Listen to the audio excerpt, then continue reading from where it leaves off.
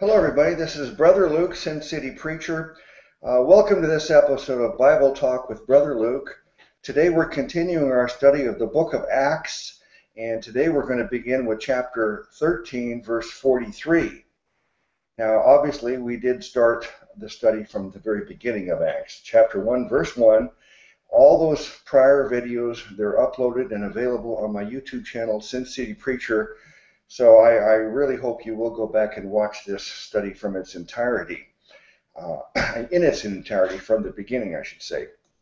All right, uh, before we get started, let me ask Brother Ted and Brother Joe to say hi to everybody. Hi everybody, this is Ted here, and my channel is God's Truth Ministries, and I've got some videos over there for uh, evangelism, you know, getting the gospel out of our Lord and Savior Jesus Christ. And I've also got some videos on there uh, to believers, uh, teaching us our riches and our identity and our security uh, in Christ and uh, all the blessings that we have in Him. So a few videos on there about that. I pray you'll listen to those and uh, keep with us on the study of the Book of Acts. It's just getting better, and uh, there, there's true drama here as we're going through this book. And I pray you guys will stick around for it. It's a big blessing. Back to you. All right, and uh, this is Joe with the Dre uh, Sebastian Dresden channel, channel for fellowship and learning, and I've got a few uh, videos up. Uh, uh, I, if I may suggest one, it's one called "The Greatest Sermon I've Ever Heard," and it, it's it's up at my channel. If you get a chance to listen to that, some old ex-Catholic guy, not not me, but just a great great uh, word. If you get a chance to watch that, I just want to throw that in today. All right, back to you. Okay, we're going to begin now in the King James Version, uh, Acts chapter 13, verse 43.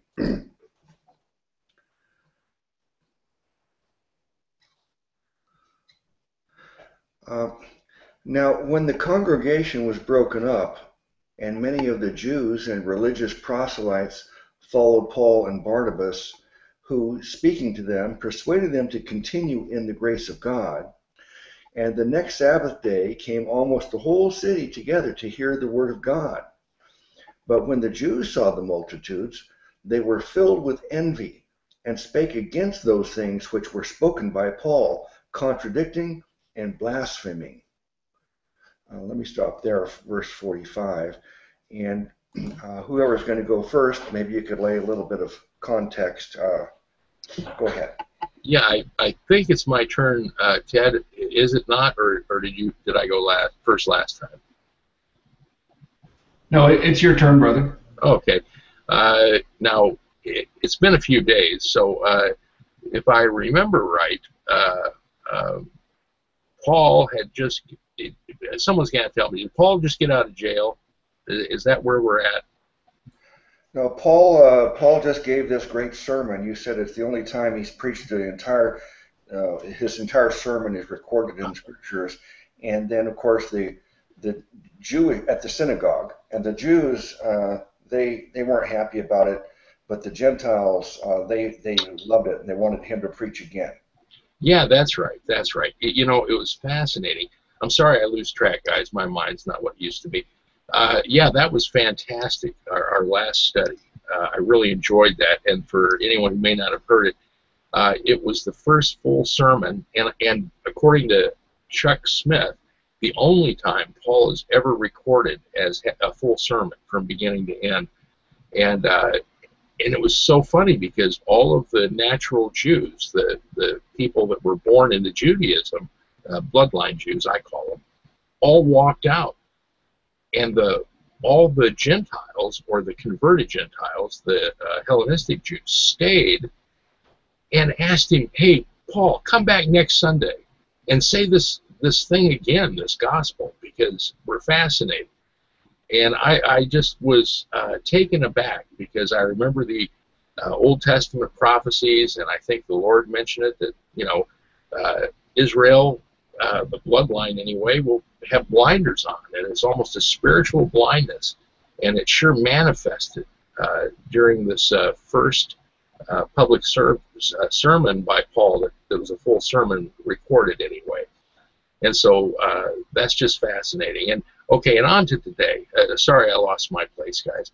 On to today. I, I find it kind of unusual that that he was being persuaded to continue in the grace of God. Paul and Barnabas, who were speaking to them, you know, they're saying, "Hey, you know, not that they needed that said to them, but you know, the the congregation or the uh, the the Gentiles, the converted Gentiles, are saying, "Hey, you know, continue on with this. By all means, we're we're all fascinated. I mean, yeah, if they weren't converted, they they were definitely interested.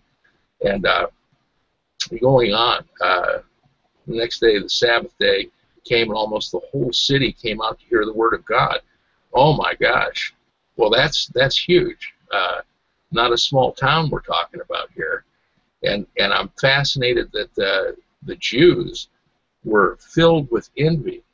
I mean, we're now the Pharisees in the past with Peter were full of anger and rage, and uh, this is more like the sorcerer uh, Simon, uh, who was envious of their power. And uh, uh, now I, Simon, uh, the sorcerer, I think, came to the Lord and, and just envied their power. Well, these guys are outside of God, and they're still envious, not angry, not rageful, but envious. And so, and then uh, because of their envy, they went out contradicting and blaspheming. You know, I've gotten into big arguments with my brother before, and uh, he just uh, angers me. Now he's my brother's a, a bona fide rich guy. He makes a lot of money, and he's got a, a big company. And I got to tell you, I am envious. You know, when he pulls up in his brand new Corvette that he gets every year, and uh, you know he lives in very grand circumstance, and I'm a little bit envious. And when we get into fights, and other family members are privy to our argument, and I don't mean fisticuffs, but you know, whatever. I have a tendency to start knocking him because of his wealth, and and uh, and playing that card against him almost involuntarily. I contradict what he says, and I use that against him. And uh, I'm more down to earth. You know, I really do uh, uh, shuffle from the bottom of or deal from the bottom of the deck uh, because I'm envious of him a little bit, you know, and and I, I recognize that, and I know it's a sin and it shouldn't be, but it, it happens. it sounds like that's kind of the case here, and uh, but not only against them, they're blaspheming against God uh, because that's who Paul and Barnabas are advocating for in the gospel. So.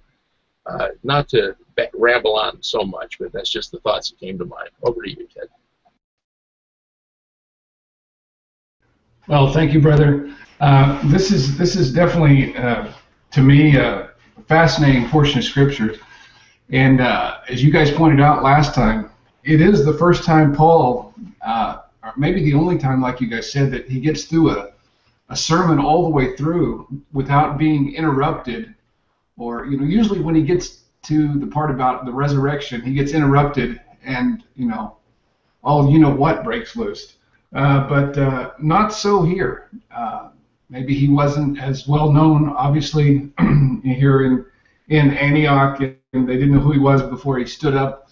You know, they gave him the invitation. They gave him the words. You know, when when they finished the reading of the law and the prophets earlier in the chapter, they said, uh, "You brethren." Paul obviously was probably dressed uh, as a as a very religious Jew, maybe in, his his Pharisaical robes and garb uh, very distinguished probably. And so the, uh, the leader of the uh, synagogue says, "Hey, if you any of you brethren have something to say, uh, say it." You know, and wow, what an open door. He got the okay from them, and then he let her rip, giving the history lesson, and uh, who all the law and the prophets pointed to was the Lord Jesus Christ, and uh, basically just at the very end of, of, the study last time was verse 42 today we started in 43 basically it just uh, you know it's Paul declaring the salvation of, of Christ being the one who will justify you from all things, and it just says, and when the Jews were gone out of the synagogue, like everybody just everybody just left church, everybody just left, you know, left the service. Uh, the Gentiles besought or, or invited that these words might be preached unto them the next Sabbath. Says, "Hey guys, you need to. Can you just imagine that nowadays? It's like, hey, an evangelist comes to town and says some encouraging words at the end of the service, and uh, unbelievers in the congregation leave, and those people that didn't like it, and then a few people huddle up around him and uh, say, "Hey, can you come back next week to church, or to, you know, in this case, to synagogue and teach, talk to us again?" In verse 43, uh, now when the congregation was broken up, many of the Jews and religious proselytes followed Paul. And so there were many, it obviously had to be a big, uh, big congregation there in Antioch for, for there to be uh, many of the, of the Jews and religious proselytes that followed Paul afterwards. Um, it seems like those were the ones actually in the confines of the building. Maybe maybe the text is talking about the gathering after church at lunch or something, after after synagogue at, at lunch or something. I don't know, but they there was many. That's the thing that's key to me. It wasn't just just a very few handful, but many Jews and religious proselytes followed Paul and Barnabas. And I like this. Who speaking to them persuaded them to continue in the grace of God. So they were encouraged the thing that jumps out to me there again is they were encouraged by the gospel. They were encouraged by what Paul had to say. And what was the result? To me, what I see as the result is they encouraged Paul and Barnabas to continue in the grace of God. Didn't say they encouraged them to go be uh, law keepers and Sabbath keepers and uh, keepers of the minute matters of law. It says they encouraged them and I think this is the, the, the crowd, the, the, the followers, the believers, encouraged Paul and Barnabas to continue in the grace of God. So they got encouraged, and then they became encouragers. That's that's what I'm getting out of this, guys. And the next Sabbath day, obviously there had been talk around town. The next Sabbath day came almost get this the whole city together to hear the message, to hear the word of God. And this this this that phrase to hear the word of God, the message of God, the good news is going to be key in these next verses coming up uh, as we're going to hit some distinct uh, doctrines or a doctrine that's prevalent uh, in some circles of Christianity. So back to you, Brother Luke. Hmm. All right. Uh, to um, I want to contribute to this um, uh, context that we want to establish in, here in the beginning. Connecting this study to, to, the last one, some important things were established. Uh, first of all, the the time frame um, is important to understand.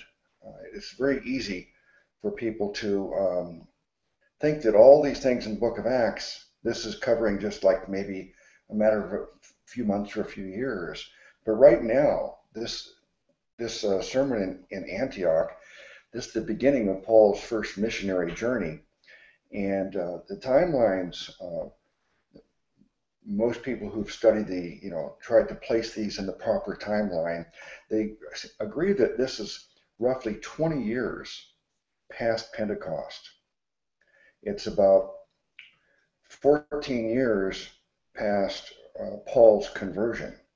The interesting thing is that um, before Paul was converted, when people heard he was coming or when he appeared, the church was running for their lives, and uh, the the the Jews, the the Sanhedrin, the Jewish religious leaders, they were all behind Paul, who was called Saul of Tarsus. So he, uh, the the Jewish religious leaders were all supporting him, and the Christians didn't like him; they were afraid of him. And, and now we've got it all reversed, whereas the, the Christians are all supporting Paul. The fear of Paul or Saul of Tarsus is long past. Um, and now it's the, the Jewish uh, believers that are having the problem with him and that uh, that want to get him because uh, he's he's gone from wanting to destroy the the church, Christianity, to uh, wanting to convert the Jews. He's still going right to a synagogue. The very first thing, this is in Antioch. Um, but the church in Antioch should be uh, now, uh, we have let me see, it, the conversion of um, Cornelius, when the Gentiles first started joining the church, we have about a 10 year period. So, over 10 years, the church in Antioch has been having Gentiles and Jewish believers as, as in, in the church there. So, this is a mixed, uh, mixed congregation.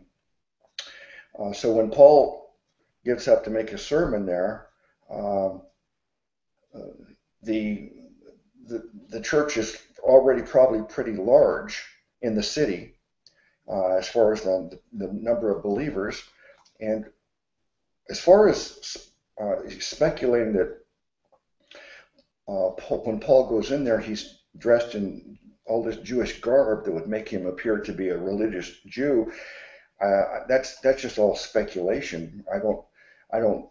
It very well may be true, but it but I don't know. There's no way of really knowing that, but it's it seems that their policy was if if someone was attending uh, in the synagogue the service that it was a routine that they would ask any uh, new people to hey get up and say a few words if you want. Tell us a little bit about yourself. Have you got anything you want to share? And uh, so unbeknownst to them this was uh, uh, the, the, the Apostle Paul. If they had known that in advance, I doubt very much that um, um, they would have, uh, you know, invited him to, to speak because it was going to create a big controversy, and it did. But the sermon that he he gave, as we said, the entire sermon is recorded here. And when we read that and we we were comparing it to Peter's sermons at Pentecost. Several other Peter sermons are recorded in Acts that we've gone over. And the sermon of Peter and Paul is exactly the same sermon. Uh, that uh, they, they killed their Messiah, the one that was promised. They rejected him. Uh, he is the promised one, Jesus. It's you. It's all. It's he was the one that uh, all the scriptures in the Old Testament, from the law and the prophets, were about him, and he he was killed, but he he, he believing in him is is a way you get your sins forgiven, and that he was raised from the dead. So the uh, the, the death, burial, and resurrection, forgiveness of sins through faith in Jesus. This was the same message as Peter and Paul were preaching here. Now, what I find interesting is says that uh, almost the entire city. Oh, by the way, brother Joe, you you said in your first comment that they asked him to, hey, could you come back next Sunday and, and preach again? But of course, we're thinking, you know, church is on Sunday now, but this is still, this is a synagogue. And their congregations were on Saturday, the Sabbath day. So it would be on a Saturday. But the, the, the Gentile believers were excited about uh, Paul's message. They wanted him to come back again the following week. And uh, uh, but the, look at the response that he got here. It says that, um, uh, and the next Sabbath came almost the whole city together to hear the word of God. Um, so, like like Peter's response, where Peter had thousands of people converted, um, and Paul is getting a great response here too. I think that a lot of people believe, but a lot of people, the word has spread, and now the next week, everybody want, in the city wants to hear about this. Uh, but then the, the Jewish people who rejected the message, uh, they were filled with envy, and they they spake uh, against these things where Paul was, uh, preaching. So they, they didn't believe in Jesus was the Messiah, the promised one, the death, burial, and resurrection. They considered Paul's message blasphemy. All right. Anything else before we? Uh, you probably want to respond to some of that. Yeah, I, I just want to uh, mention one thing. I grew up in a in a Baptist church uh, when I was young, and uh, uh, people were very very Baptist, and and uh, the the denomination was critical to their thinking. Now I left that, and I, I grew out of denominationalism but uh, the pastor's son opened a church out here in Seattle. And uh, this is some 20 years later, 25 years later. So I decided to pay the church a visit. And here was uh, Pastor Green, the, the son of the pastor, and, and he was still very steeped in Baptist this and Baptist that. And, uh, it was integral to everything he taught. Now, the people who rejected Paul's message here were people who had uh, recent conversions, or or at least uh, they were they were not Jewish at one time. They were heathen or Gentile, and so they're still Gentile, but they're converted. And and it, it reminds me of something Ted said that stuck in my brain. You know how I like to chew on a bone. Some three or four, maybe five sessions ago about people responding to light and God giving greater light. And so uh, these the the Jewish people are so steeped in their tradition that accepting something new or outside of their tradition uh, is repugnant or at least uh, uh, difficult for them. But these other Gentile, the, the converted Gentiles, they've had an epiphany. They've actually not been born into their Judaism. They've had light given to them by God, and they've responded to that light to this point prior to the gospel. And so here we see the people who responded to light rather than were born into the Jewish uh, lineage responding to even more light. And so I think that that's pertinent. Now it looks like a good deal more, uh, even within the, the uh, Jewish tradition, join in. But to begin with, uh, it's those who have responded to God's light rather than being born into it uh, that really sit up and take notice. So I, I think that's significant. Back to you. Let me ask you something. I'm, I'm, I'm sure that this was just a, a um, you just misspoke. Uh, you, you said that the, the people that rejected Paul's message were the Gentile believers. Oh, I meant that. I meant I meant they were the uh, the Jews, the, yeah. the people born into Judaism. Yeah. Well, so because you, you, said two contradictory things, you said that they, they were the, the ones who rejected were the Gentiles, and then later on you said the Gentiles were the ones that believed. So that's you just you just said the opposite of what you were actually thinking, I guess, right?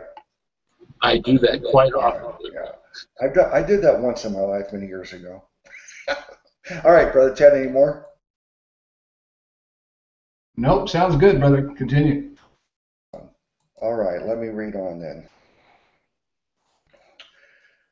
Verse 46. Uh, then Paul and Barnabas waxed bold and said, It was necessary that the word of God should first have been spoken to you. But seeing ye put it from you, let me read that again. But seeing ye put it from you, and judge yourselves unworthy of everlasting life, lo, we turn to the Gentiles. For so hath the Lord commanded us, saying, I have set thee to be a light of the Gentiles, uh, that thou shouldest be for salvation unto the ends of the earth. And when the Gentiles heard this, they were glad and glorified the word of the Lord. And as many as were ordained to eternal life believed. And uh, verse 49, and the word of the Lord was published throughout all the region. Let me stop there. What what uh, stands out uh, first of all, is I think Ted uh, has a point uh, being made here uh, that you, both you and I were iffy on. Uh, was it ordained or was it necessary for Paul to go to the synagogues, or was it just his habit? And uh, judging by the way this 46 is written, it almost looks like it was ordained or necessary for Paul to go to the synagogue first. And so, whichever one of us uh, had a contrary opinion, uh, I don't know who had what opinion, but it looks like it wasn't just a habit or something that was customary, but it was ordained that he go to the synagogue first before presenting the, the Gentiles. Back to you.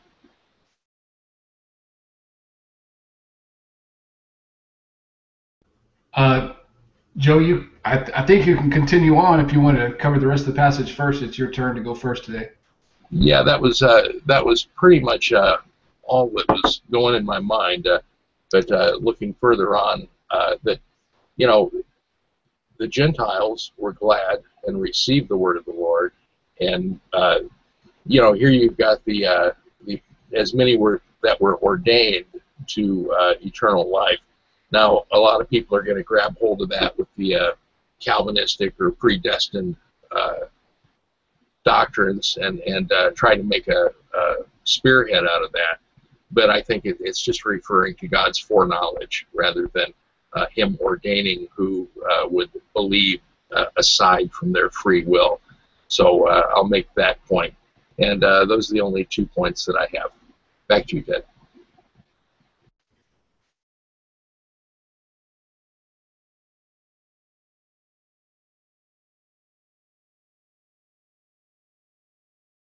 You're muted, Ted.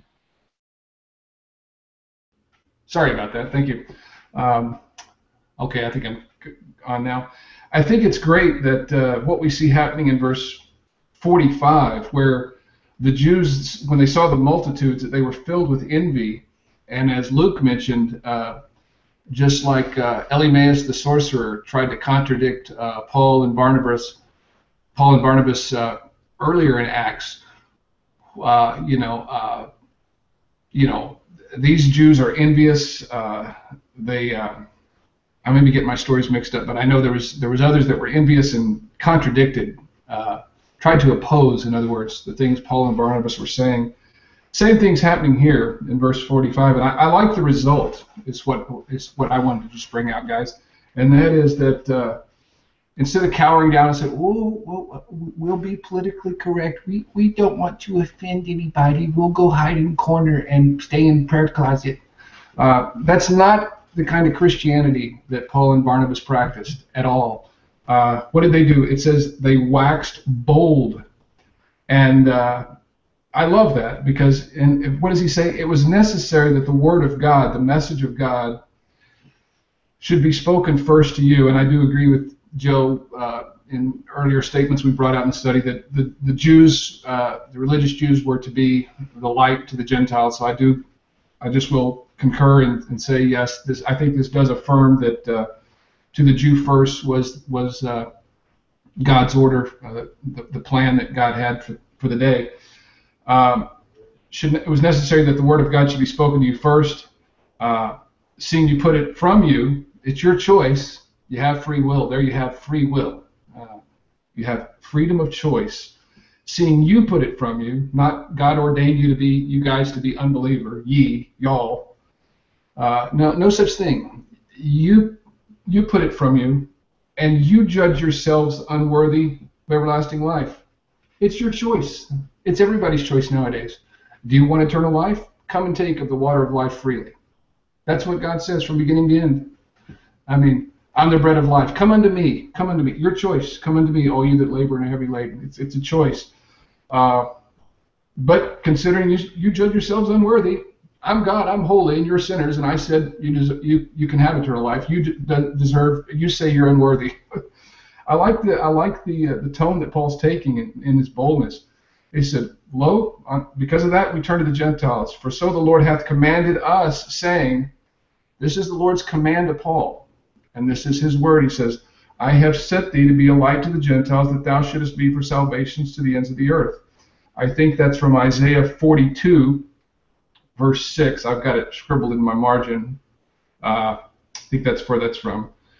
And it's other places in the Old Testament where the, the, the Jewish nation was supposed to be the light to the Gentiles, to the ends of the earth, actually. And verse 48. Now, this is supposed to be a home run just just a home run for the Calvinists. This is just like, oh, there you go, here it is. And when the Gentiles heard this, they were glad and glorified the word of God. And as many were ordained to eternal life, believed. God individually selected out some Gentiles of the myriads of people cascading into hell. What a glorious thought. Uh, and these were some of the Gentiles God picked out of the ones that he didn't want to go into eternal conscious torment forever. That's simply not what the Bible teaches, and that's not what this verse teaches. That word ordained there can be a bit misleading because it has, in our modern day terminology, the, the, meaning of predestined, which is not it. But I did write down uh, in my margin here in my other Bible what uh, uh, ordained or appointed means in the uh, from the concordance and the Bible dictionary. It says to be disposed towards something, to be set toward, or to be prepared. What, excuse me, what prepared these Gentiles? Let's say uh, from the few verses up, the previous Sabbath happened. What prepared them? What were they disposed towards? And what something? What set them towards a predisposition to become believers? Uh, the previous Sabbath, guys.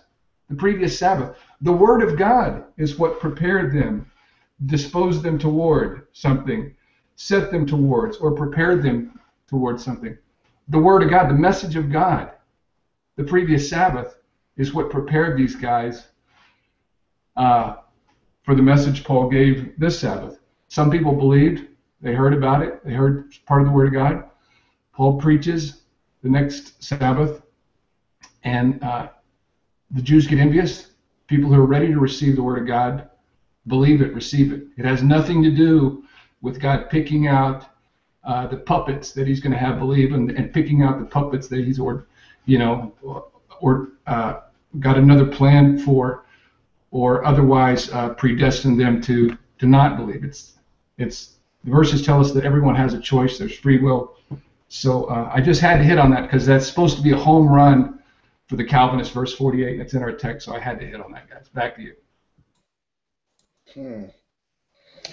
Brother Ted, you are such an anti-Calvinist. Wow.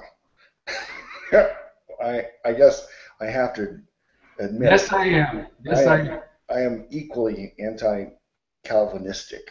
Uh, so anybody watching this video, um, if you uh, are either a Calvinist or you're you're beginning to learn about Calvinism or you're curious about Calvinism, rather than get sidetracked and turn this into a uh, contra Calvinist uh, message, um, I have a playlist called Calvinism uh, Debunked. It's probably about 10 hours long. Uh, the, the teaching we did, refuting all six points of Calvinism. Most people think there's five, but there's six. Uh, so we refute it completely and it's evil. It's absolute evil, the, the philosophy. Uh, so if you if you think I'm just being unfair, well, be fair to yourself. Watch the study uh, uh, against Calvinism, and then you can decide for yourself if I'm judging them correctly. Uh, but regarding this, these points here, um, the let me, I, would like to read this in the Amplified just to see if there's phrasing anything differently that might help us. It says, verse 46, and at the time Paul and Barnabas spoke out boldly and confidently, saying, It was necessary that God's message of salvation through faith in Christ be spoken to you Jews first. Since you, since you re- repudiate it and judge yourselves unworthy of eternal life, now we turn to the Gentiles. For that is what the Lord has commanded us, saying, quote, quote, and this is he's quoting the Old Testament, I have placed you as a light for the Gentiles, so that you may bring the message of eternal life, salvation, to the end of the earth, unquote. And let me see where that is found. Uh, well, I think we, we talked about earlier where, where it's from. I don't see the the footnote, but um, verse 48 when the Gentiles heard this, they began rejoicing and glorifying, praising, and giving thanks for the word of the, Lord, and all those who had been appointed or designated or ordained to eternal life by God um, believed in Jesus as the Christ and their Savior. And so the word of the Lord regarding salvation was being spread through the entire region. Uh, I guess the only point I need to uh, talk further about, since you've both done a thorough job on this, uh, is uh, this question of Paul uh, preaching to Jews first. Uh, I, I, I, certainly it's saying that it was. let me see how exactly it was. It was phrased there, verse forty-six it was verse 46 it was necessary that the word of god should first have been spoken to you Uh, so verse 46 says it was necessary. Um, I, am not going to dispute whether this was uh, what God was directing them to do and it was required, or if it was. Uh, we've talked about that in the last time at length. But I, what I find interesting is that at this point, Paul says to them, um, "Because you have rejected it," he says, "but seeing ye put it from you." In other words, you're rejecting it and judge yourselves unworthy of everlasting life. Lo, we turn to the Gentiles.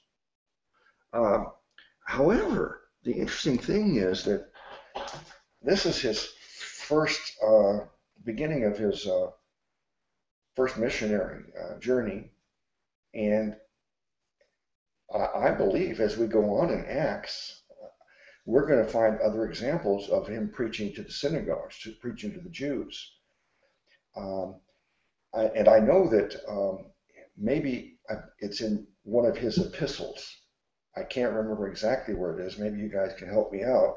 But I'm sure there is a point where it says it was Paul's custom, whenever he entered a city, to go into the synagogues first. And um, and so I, I, believe that this is a something that he continued to do even after this point, when it, it's clearly said um, it's required that we talk to you, the Jews first, but now we're going on to the Gentiles. Uh, he continued doing that. It's not like at this point he's saying, I'm giving up on all Jews. We're only going to focus on Gentiles from here on out. He continues going into the city, still preaching to the Jews first, and then he goes on to the Gentiles. Um, the um, matter of fact, Paul even says at one point in his uh, one of his epistles, he tells God, he says, if if I could lose my salvation in order for all my brethren, the, all the Jewish people to be saved instead of me, I'll, I'll, I'll be willing to do that. Said, to me, that's a crazy thing. I mean, I wouldn't be willing to do. you know, it's just, it's, I find that just remarkable. That Paul would be willing to give up his salvation if, if the Jews would just believe and be saved. Uh, so he continued all through his life, still having a love and passion for the, the Jewish people. And uh, so he continued preaching to them throughout. But um, there was one other thing I was going to say about. I'll probably remember uh, if you guys talk any more about this. Well, before we go on, I'll probably remember what else I was going to say. Go ahead. Yeah, Luke, I'm in I'm in total agreement with you there. This was not a complete denunciation uh, Paul continued to go uh, to the to the Jew first, uh, or you know, to the Gentiles, uh, yeah, to the synagogues first throughout his ministry. And Romans even talks about that. Uh, Romans is where you were quoting from, by the way. You know, if I could uh, set myself as accursed from from God, uh, you know, like you said, lose my salvation for all of Israel to be saved. He did say that. That was in Romans. Um, so this was not this was a, just a denunciation of those particular uh, Jews of that of that area, that region, that synagogue. Uh, this was not a complete setting aside here. This is just a denunciation. We're going to see it happens again in 18, uh, you know, chapter 18, and also in uh, Acts 28 as well, where it specifically uh, has that. So back to you, brother. I did remember uh, what I was going to say there that the uh, Paul is uh, commonly referred to as the apostle to the Gentiles. And yet we see during his entire ministry, um, he never failed to continue preaching to Jews. So he was not being um, uh, excluding the Jews and only going to the Gentiles. He preached to everybody. And, and then also the other apostles, um, the, the Paul onlyists, the hyper dispensationalists, they, they want to teach that Paul was the one to the Gentiles. The others, they never even preached the, same gospel as Paul. It was a different gospel, and they preached to the Jewish people. But the, the fact is, all the apostles preached to Jews and Gentiles. It, once Cornelius and his family were preached to by Peter, the, the floodgate was open and they, they all would do it. Now, there was a lot of resistance for a while from the Jerusalem church against Gentiles, but eventually we see that all the apostles went to countries around around the world, and uh, they they were preaching to Gentiles. So each apostle is a preached to Jews and Gentiles, including Paul. All right. And anything else, brother, brother Joe? Yeah, I just wanted to follow up on on what you were saying with uh, Paul, uh, saying he'd give his own eternity up uh, for for his brethren. Uh, it, it, has precedent with Moses, who did the same thing with the uh, rather stiff-necked Jews in the desert. He did the same thing, and I was amazed by that. Uh, unlike Noah, who, who prayed that uh, the people he spoke with would not be saved. Lord, don't let them get saved. Uh, so that, there's precedent for that with Moses. The, the other thing I wanted to note, I went looking to see how big uh, Antioch was, uh, just to get a, a kind of a, a, feel for the town that they're in. And uh, I want to note that this is the third country. We they were in Jerusalem, then they went to Turkey. Well, now they're in Syria, Syria proper. And uh, just to get a feel for the city that they're in, uh, and it doesn't say what the population was, but what it does say in, in regarding biblical Syria, Antioch was uh, splendid by its Roman patrons and masters. Uh, it was the queen of the East, the third city after Rome and Alexandria and the Roman world. About five miles distant was the uh, suburb of Daphne, this, a spot of uh, sacred to Apollo. So that's the uh, a little bit of background as to the city we're in. Back to you. Let me ask you, I'm uh, because I'm not positive about this, so I don't want to like say you're wrong, you know, if I'm not sure. But um, I I thought the Antioch was in Turkey, not Syria, and then and then of course Damascus is in Syria. Are you? Yeah, I I, I think that uh, Cornelius I think was in Turkey, but I'm looking right now at the. Uh, you just said Cornelius. You just said Cornelius was in Turkey. Oh, I, I may have. I, I know that we were in Turkey at one. We're getting feedback. We're going to have to mute. Uh, we uh, we were in Turkey before. The last place we were at, I remember looking that up. But right now, I'm at the uh, BibleAtlas.org, and it says Antioch uh, was uh, uh, queen of the East, the third city after Rome and Alexandria of the Roman world. Uh, and it says it's in Syria, Antioch in Syria, about five miles distant from the suburb of Daphne, a spot sacred to Apollo. So that's what I was just looking up in the uh, Bible Atlas. Oh, that's a big surprise to me. Um, all right. Um, anything else before we go on?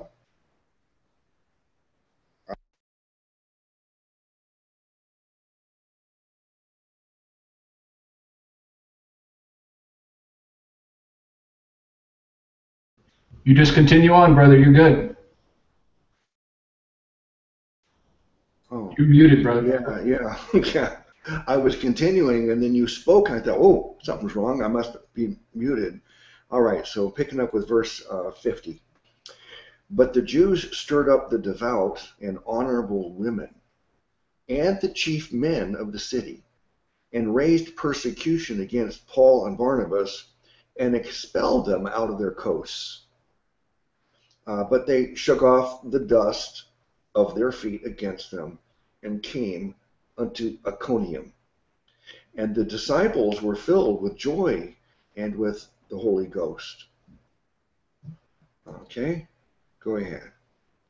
Well, that's that, that's kind of amazing. Uh, later on, Paul will tell people or instruct uh, people. I think it's Paul if, if they're not accepted, to shake the dust off their feet and move on. And before he's made that statement, here he's doing it.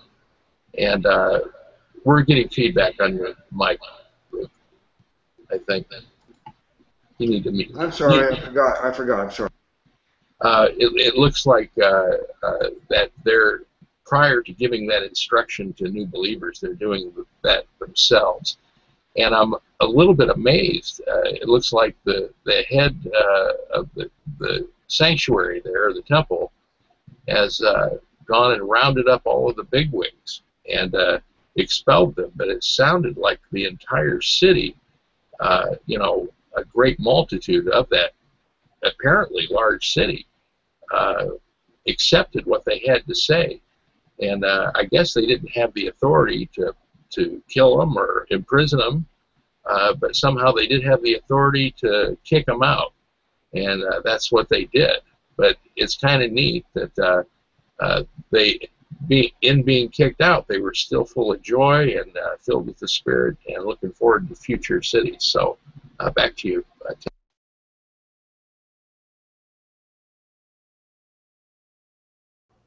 Well, one of the things I noticed from this text right on is is is the Word of God, uh, the Gospel, the message of God, and now you know our completed Bible, uh, speaking on behalf of the authority of God. I mean, all that you know tied together.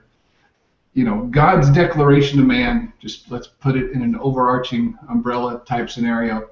Uh, you know, it usually does two things. It usually divides people, and it makes, you know, the other thing it does is it makes those the divisions envious or rejoicing.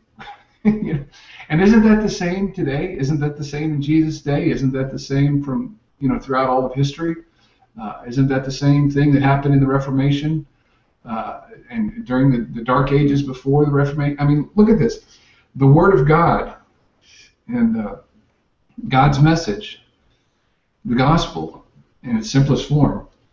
It was published throughout all the region, and uh, just like the Jews were envious uh, back up there in uh, verse 45, uh, uh, they spoke against the things that, that, that, you know that Paul spoke, contradicting and blaspheming. Actually, you know, contradicting the word of, word of God is is is blasphemous. Uh, speaking against the things of God, the, the gospel, I think that qualifies as blasphemous. I think that's what that's saying. But verse 50 says that those Jews in that region stirred up the devout and honorable women. I think it's interesting.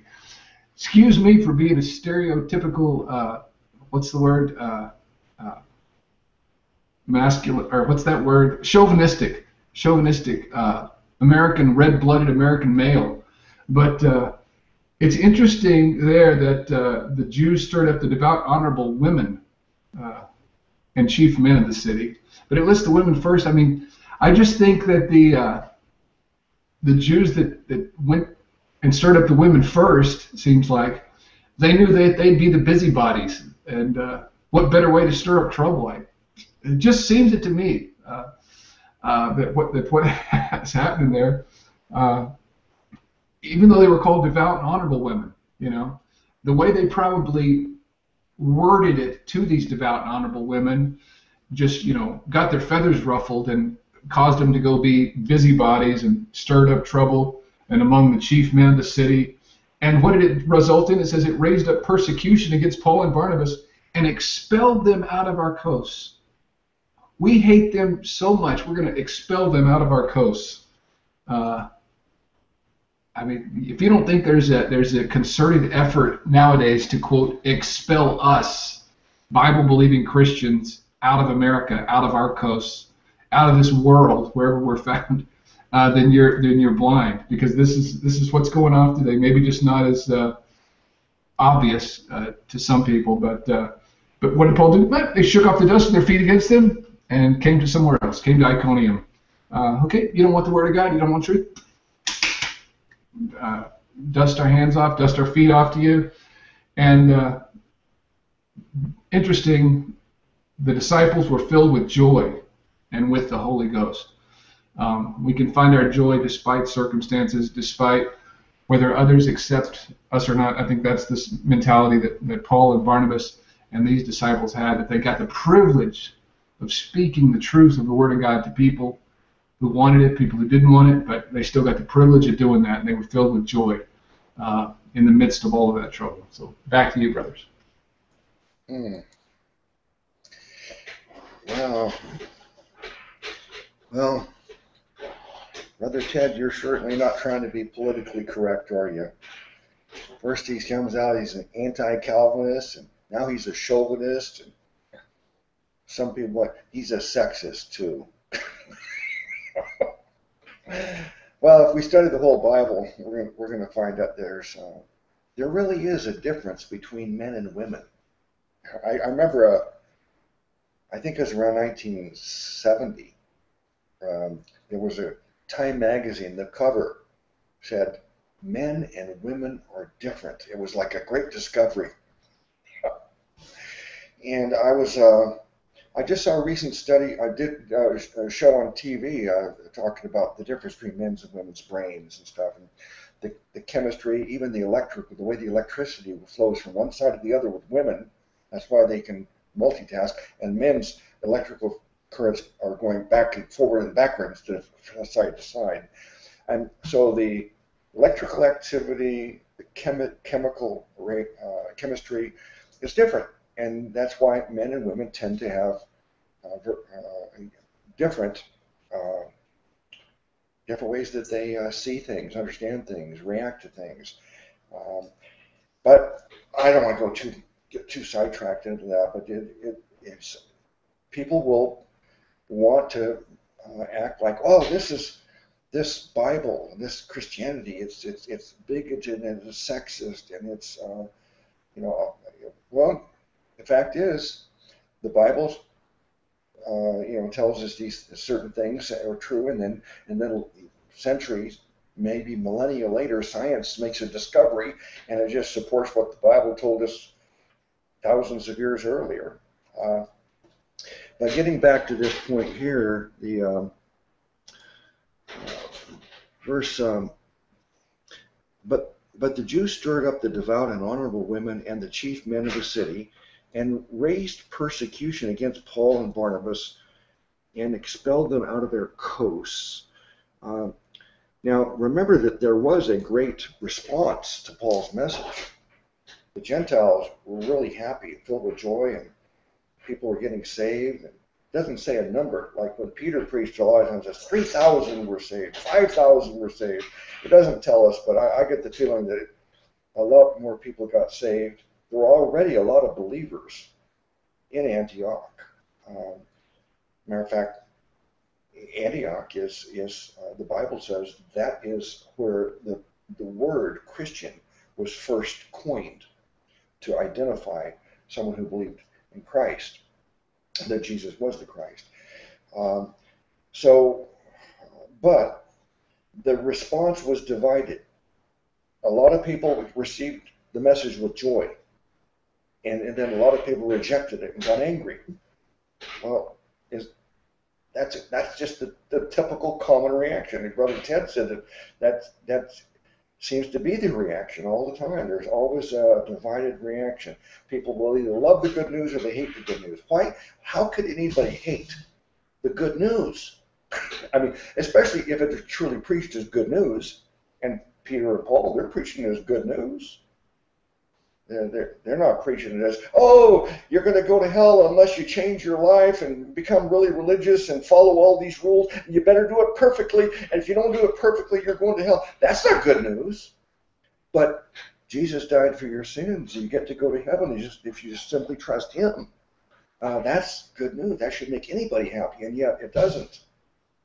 And it goes back to what Jesus said. He said, Do not think I came to bring peace but rather division. Families will divide over me, husband against wife, father against son. When I first got saved, it was created such a stir. I, I ended up having to separate from my wife for about six months. I had to move out. We couldn't. We it was it was I was such a. My wife thought I'd lost my mind and become a Jesus freak. I did become a Jesus freak, and then over the years she's begun to understand it, and we we're she's also a believer, but um, she thought my initial reaction, I want to study the Bible. You want to study the Bible? You want to have people over, coming over to your house and talk about the Bible? Uh, this was just too much for her to handle. So, uh, house was divided over Jesus, and um, so this is this is normally the what does happen. But here, here's the interesting thing: the Scripture here tells us they dusted off their feet. And it's it's said numerous times. Jesus says to dust when you go into the city. If they if they don't receive you, then then dust off your feet and move on. He says uh, that uh, don't cast your pearls to the swine. The pearl represents the gospel, the good news. The swine are the people that mock it and laugh at it and ridicule it. And, you know, don't do that. If people do not accept the message and with joy, then don't continue going back and forth with them. This is the mistake I see so much on YouTube. People want to have an ongoing argument with a, either a non-believer or someone who does not believe correctly. And they want to have these debates and go on and on, arguing back and forth, making videos, video responses. But Jesus didn't do that. He preached and then he moved on to the next one. Paul, uh, he said, dust off your feet and move on. And that's that's the. Uh, if you don't get the reaction, planted your seeds. If it doesn't come to life, move on. Spread more, uh, spread more seeds. Maybe somebody will come after you've left, and they'll come, and then uh, they can water it, and maybe it'll sprout later. I know that in my experience that some some of the results that I've got in terms of presenting the gospel is they've heard it before, and so people planted the seeds, and I was watering it. So the scripture tells us sometimes we plant, sometimes we water. Um, but the important thing to understand is that don't expect people to always believe it with joy and just everybody. And it's not our responsibility. It's not even our, our burden to make someone believe. It is our responsibility to share the good news, and then they'll believe or they won't, and then we move on. And then once they've heard the news, it's between them and the Holy Spirit to, and Jesus. All right, before before we go to the next chapter, any more final thoughts on this chapter here? Uh, just just one thing, Luke. Uh, it seems to me that a lot of the street preachers and a lot of the people on YouTube are kind of taking up the Pharisee side, you know, uh, against easy believism, as they kind of spit the term. Uh, they they want to follow ritual. They want to say you've got to obey laws. You've got to repent of your sins to the point of change. Uh, so they're, actually picking up where the Pharisees left off. so I'm not saying they're not saved, but but they certainly do embrace the very things that Christ came to uh, alleviate. Back to you. All right. Any more, Brother Ted? Okay, let's go to the next chapter. Let me see how much time we have left here. It's 3.30. Uh, yeah, we're going to go till 4, I guess, so uh, we, we can continue on. Um, chapter 14 in the KJV. And it came to pass in Iconium that they went both together into the synagogue of the Jews, and so spake that a great multitude of both multitude both of the Jews and also of the Greeks believed. But the unbelieving Jews stirred up the Gentiles and made their minds evil affected against the brethren. Long time therefore abode they speaking boldly in the Lord, which gave testimony unto the word of his grace, and granted signs and wonders to be done by their hands. But the multitude of the city was divided, and part held with the Jews, and part with the apostles.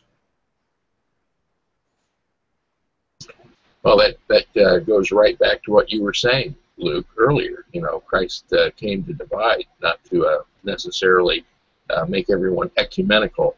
And uh, it, it uh, doesn't escape me here that the Gentiles believed, but the Jews, some of them, went to those Gentiles and made their minds evil, affected against the brethren. So it looks like they were kind of seed cast on that harder, uh, hard soil or thorny soil or whatever, but it looks like uh, meant all of the Gentiles were leaning towards uh, the gospel, but the unbelieving Jews were able to uh, whisper in their ears and uh, and turn them against those who believe. And so uh, there may have been a, a much bigger uh, conversion of the Gentiles if it weren't for the evil part of the Jews. But I am encouraged that it looks like kind of half the city believed the gospel and half did not. But still, what a what a fantastic result for uh, for their next stop. Back to you. Well, thank you for that, Joe. I just kind of want to just agree with your general sentiment there, your, your statements.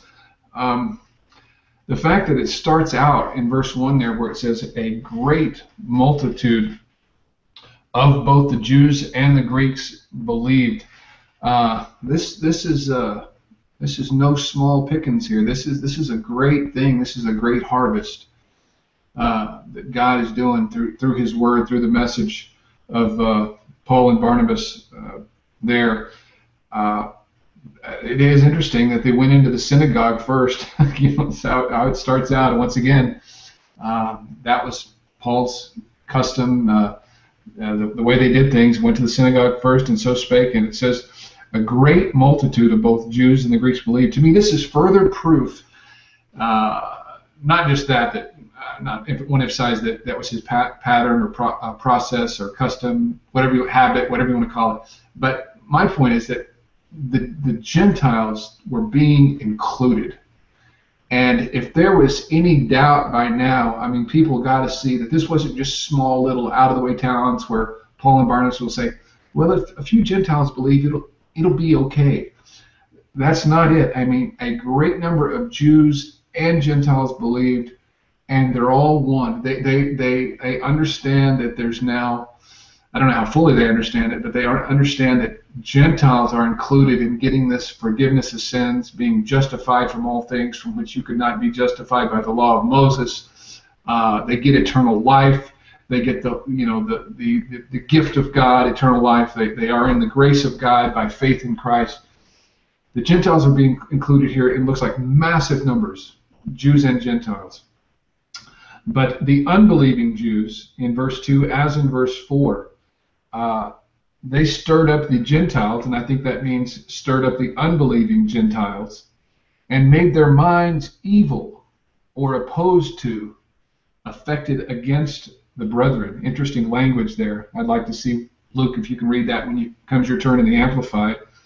Uh, made, made their minds evil, affected against the brethren. And my goodness, you have that today in, in untold scores of, of accounts to where let's just get a bunch of people stirred up against, you know, the message of God, against the Christians, against these believers. Uh, same thing, same thing going on. And uh, long time therefore abode they speaking boldly in the Lord, uh, which gave testimony unto the word of his grace, and granted signs and wonders to be done by their hands, by the apostles' hands. So, um, like I said, I'd like to hear you read this in the Amplified. Maybe you can give us a little bit of insight into the how that's uh, might be more, a little more understandable to us. But verse 4, I wanted to speak on. The multitude of the city was divided, just like you were saying, guys. Um, you know, when some people believe, some people don't believe, division results. Uh, that's the old saying. What is it? When you're in a family reunion or when you're around folks, uh, mixed company, never discuss religion or politics here. Uh, because all that goes together you know all that you know it shows what your values are what you hold important what you, what you hold uh, dear to your life and uh, uh, what's ultimately valuable and what's true and what's right versus what's wrong uh, you know uh, it truly shows where your heart is. Uh, the multitude of the city was divided part held with the the Jews and when it says the Jews there it's not a broad brushstroke because a lot of the Jews believed up in verse 1. Uh, so part held with the unbelieving Jews specifically, and part held with the apostles, uh, the believers, and, and the apostles that proclaimed it. Uh, back to you, brother. Okay. All right. I'll just I'll read those verses in the Amplified and, and then comment. Uh, now in Iconium, Paul and Barnabas went into the Jewish synagogue together and spoke in such a way with such power and boldness that a large number of Jews as well as Greeks believed and confidently accepted Jesus as Savior. But the unbelieving Jews who rejected Jesus as Messiah stirred up and embittered the minds of the Gentiles against the believers. Um, that that seems to be saying there that in agreement with your point there that uh, the um, it was against the, the the Gentile non-believers against the Gentile believers. Um, so Paul and Barnabas stayed for a long time, speaking boldly and confidently for the Lord, who continued to testify to the word of his grace, granting that signs and wonders, attesting miracles, be done by them. Uh, but the people, uh, let me stop there. The, the, signs and wonders, of course, it's still going on. Uh, attesting miracles, attesting. That's why the miracles are done uh, uh, to uh, attest to the fact that this this preaching is the truth. but the people of the city were divided. Some were siding with the Jews and some with the apostles. Let me see. Yeah, I guess that's it. Verse 4. Um, so we see the same thing going on here. Uh, first of all, we said earlier that even though Paul said in the last city, you darn Jews keep rejecting this, I'm going to preach to the Gentiles now. Well, he didn't mean he didn't mean from here forward in every city. He, he, he said, in this city, I'm going to preach to the go Gentiles. You've rejected here. But when he goes to the next city, he still goes right to preach to the, the Jews again. And, and of course, and Jews and Gentiles. But he, he never neglects uh, to tell the good news to the Jews. They, they, they logically should be the ones that believe naturally because what he's doing is going to the scriptures, the, the Old Testament, the law, and the prophets, and saying, look at all the things that were written about the Messiah. These were all the things about Jesus. And so they should understand this better than the Gentiles.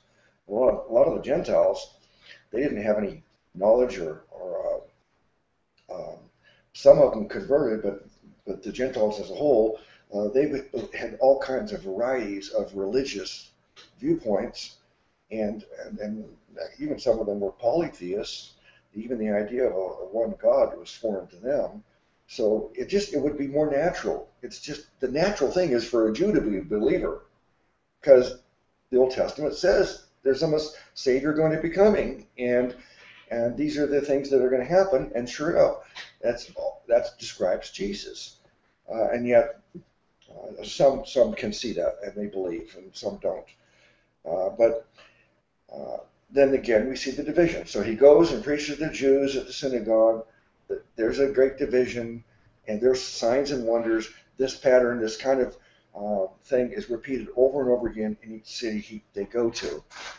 Uh, now, the verse that you wanted me to, I don't remember the significance of the verse that you wanted to be said, but I did read it in the Amplified, so bef before we go on, any, any other thoughts? No, that's good. Thank you, Luke. All right. All right, let me read a little further. I think maybe we have one more portion and then we'll prepare to close here.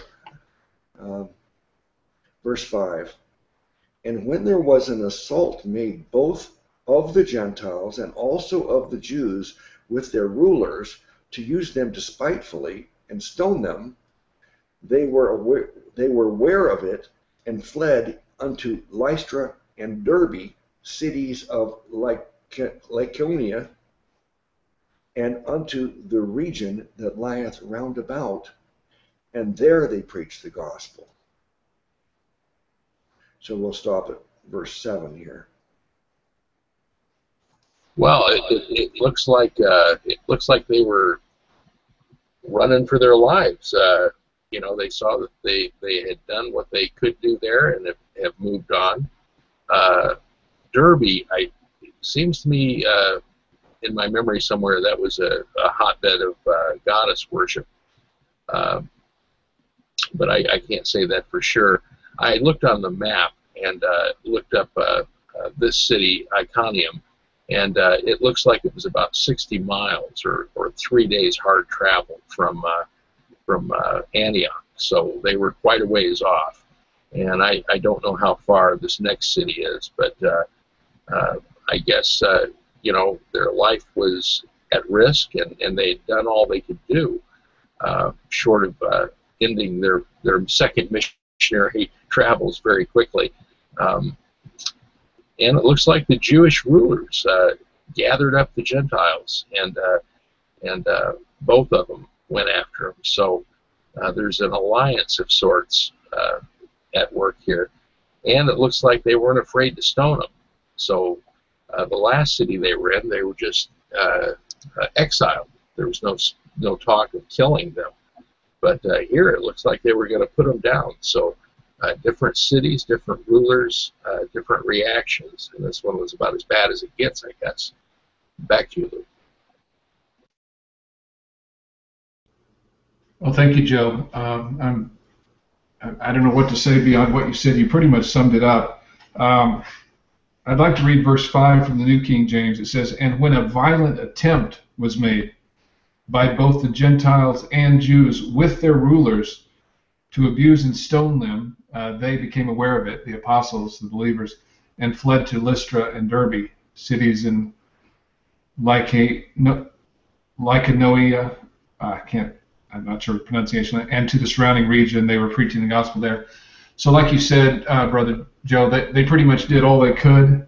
Um, and once the uh, once there comes the thing that just sticks out to me here is once uh, the people, the common folk, you might say, find that it's okay to persecute and bully and even use violence against a, a, certain group of people, once they see that either local township rulers, religious rulers, or regional rulers, people in the highest offices that they have to deal with or that they'd have to answer to, once evil common folk, uh, thugs, see that uh, evil ruling snakes think it's okay to persecute a certain group, uh, then they're going to do it because they won't have to answer to the authorities for persecuting them and actually even threatening at, went as far as to want to abuse and stone them. So uh, the disciples became aware of it, and being wise as serpents and harmless as doves, uh, they fled to Lystra and other places and they didn't just say, "Wow, we better never try try that again." It's just what they did when they got to the, those other places, is they preached the gospel there. These guys were bold. Uh, we would do well to uh, to take a look at their boldness and their example, uh, uh and uh, and implement it as we can. Back to you guys. Hmm. Uh, if I remember correctly, the right after Paul's conversion, he immediately went to the synagogue and preached and preached the gospel, just as he did the same message he did over and over again, and uh, it created such a problem that his life was threatened, and they had to lure him out of the city. I think this was in Damascus, and they had to lure him over the city wall in a in a basket to, at night to, because there were threats against his life. So immediately, this is the reaction. They wanted to kill Saul. What a betrayal. This Saul was supposed to be rounding up the Christians. Now he became one of them.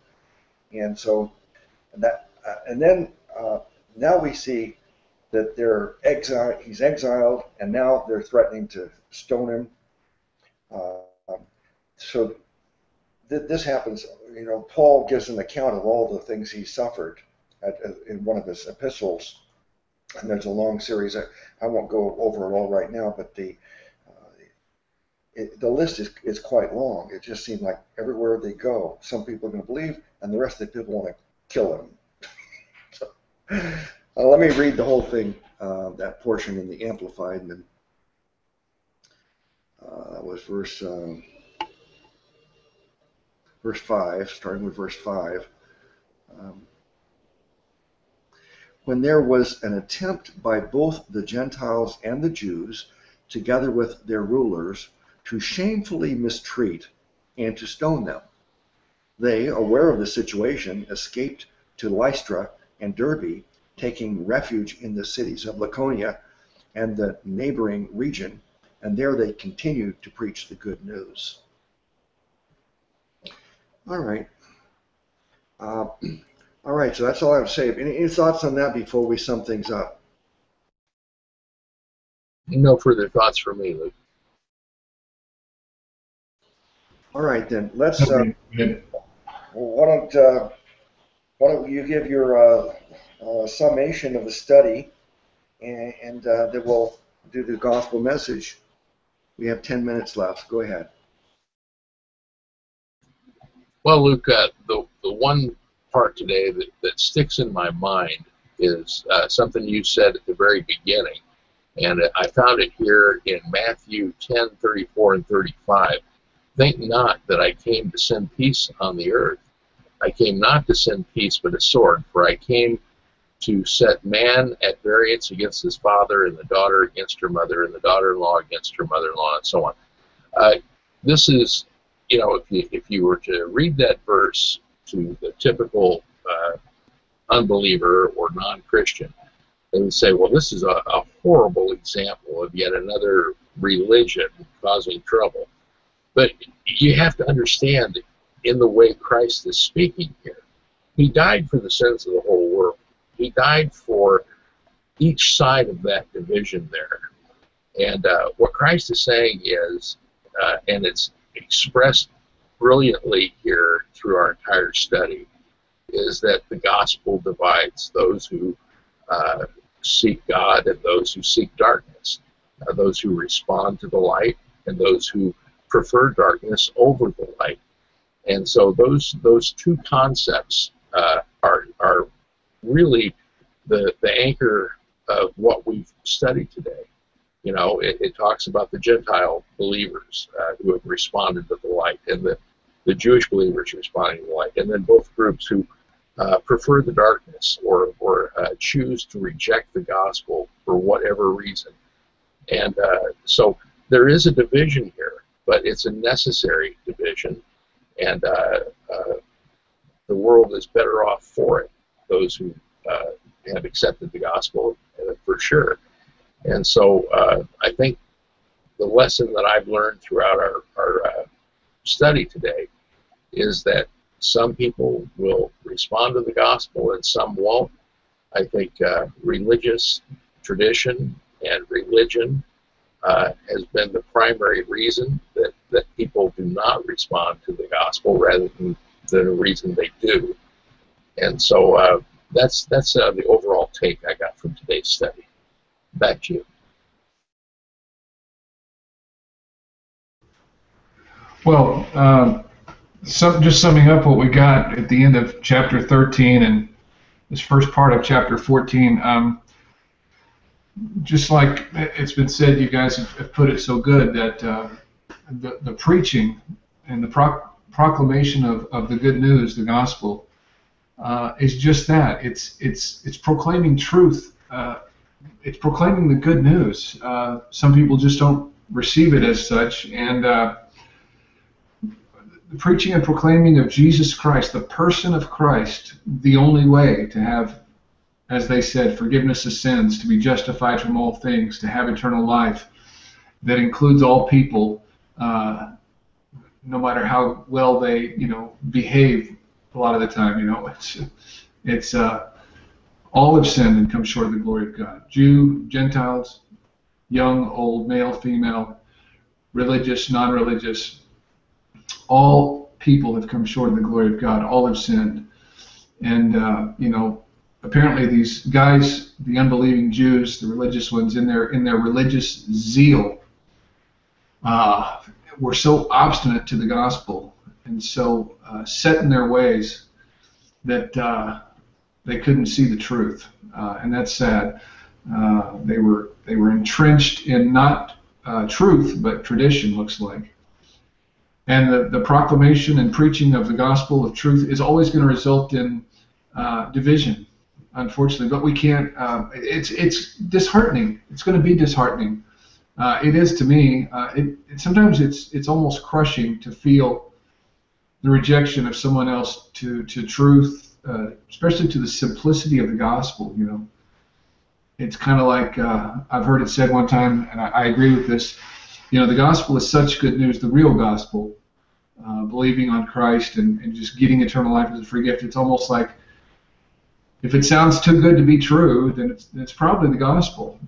You know, just simply believe, and that's obviously what these uh, Jewish religious leaders were rejecting, and some of the Gentiles as well. Just in 13 and chapter 14, I'm just getting the fact that the division results. Uh, and uh, it's disheartening. But the good thing is we see the apostles just continuing on and carrying on, and uh, and preaching uh, and proclaiming truth wherever they go. So it's a it's a good example to us. That that's what I got mainly from today's study. Thanks, brother.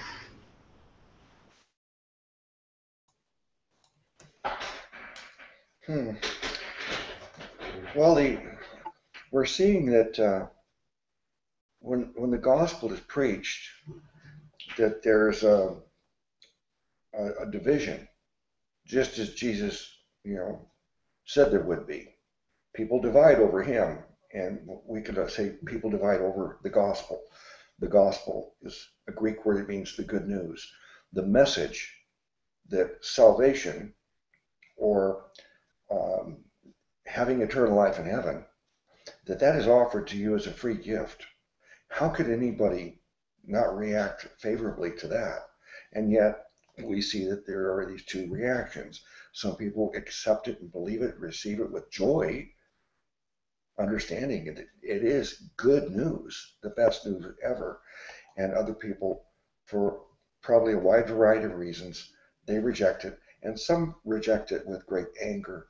And uh, you can see how some of these people rejected it so uh, so much that they wanted to kill the messenger.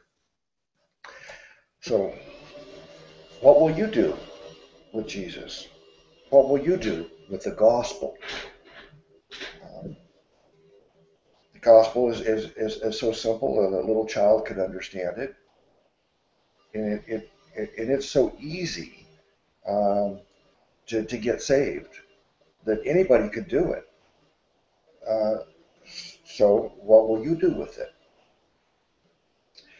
Um, the problem is that most people have been brainwashed uh, not, uh, throughout history, the history of the world, and currently the world worldwide today.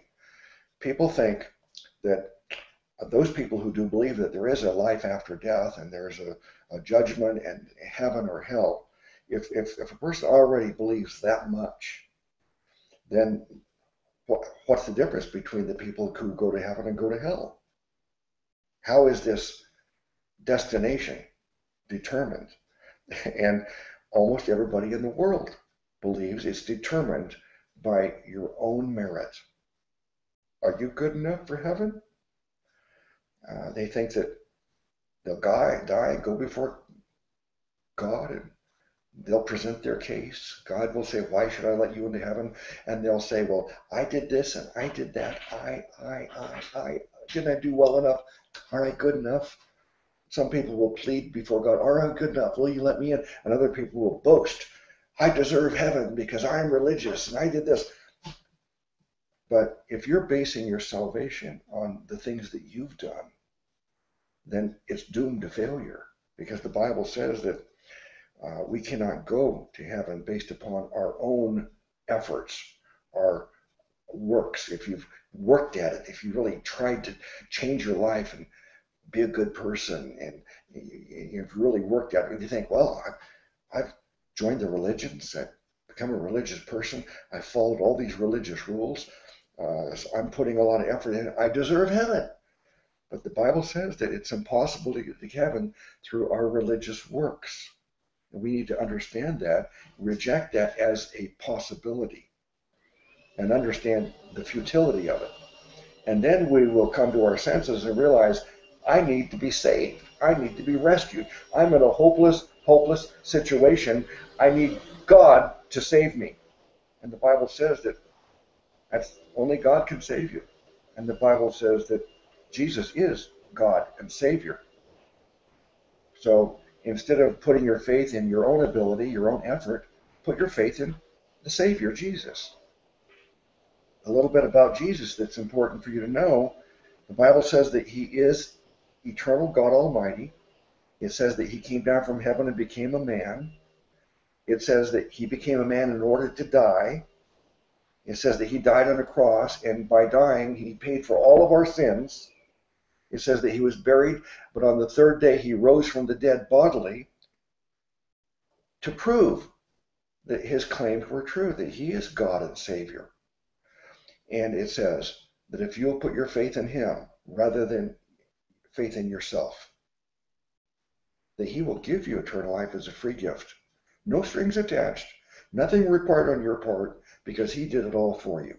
Put your faith in this person, Jesus, and put your faith in what he's done for you rather than what you're trying to do to earn heaven.